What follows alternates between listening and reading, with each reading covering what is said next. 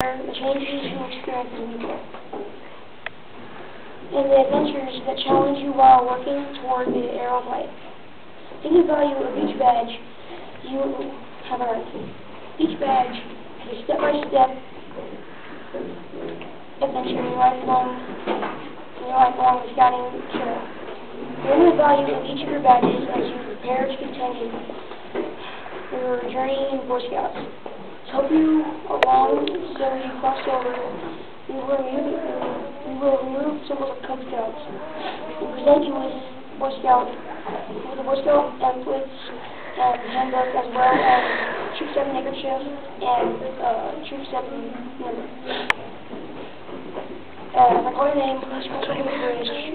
Be welcome to Troop 7 and receive your badge. Receive your Boy Scout symbols. Uh, Jake?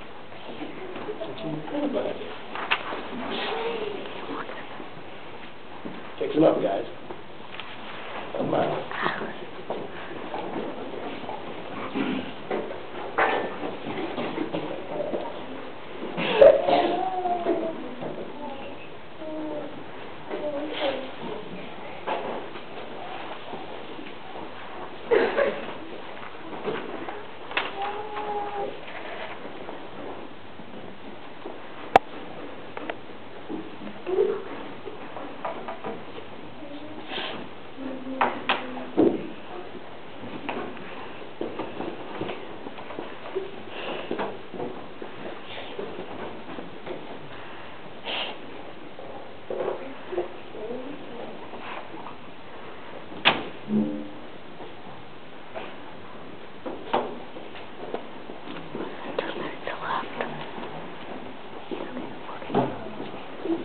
Yeah, we'll get.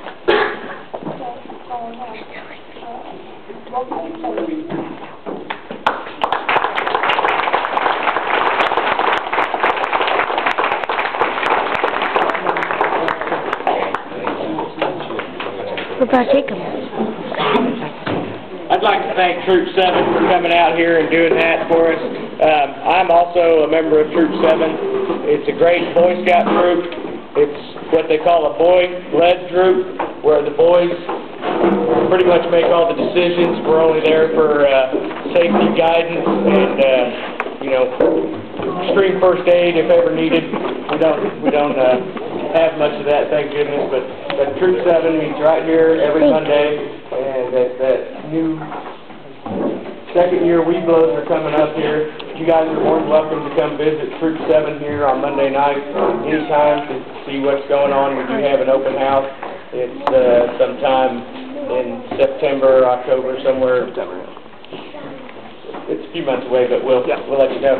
Also, before I let you off the hook, Troop 7 is having a Pancake Feed fundraiser at, uh, Mr. Sutton back there has some tickets if you would like some, or you can just come today.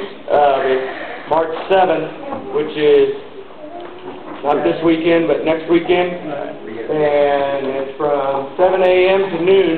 So if you're out on Sunday and want a good, uh, uh, pancake, and they have sausage and good drinks. Can I add something on that? Yes, you can.